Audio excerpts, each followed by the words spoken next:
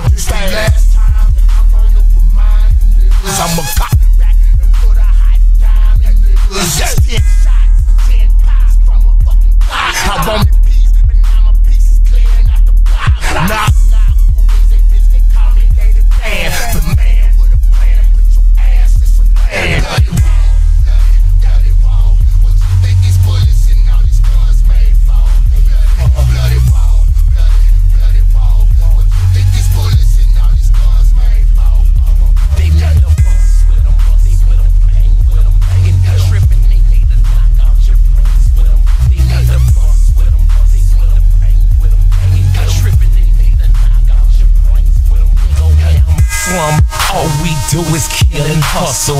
If you go slipping without that pistol, you in trouble. I done saw niggas on the block that got their stage took. The nigga who took it turned around and got his ass bust.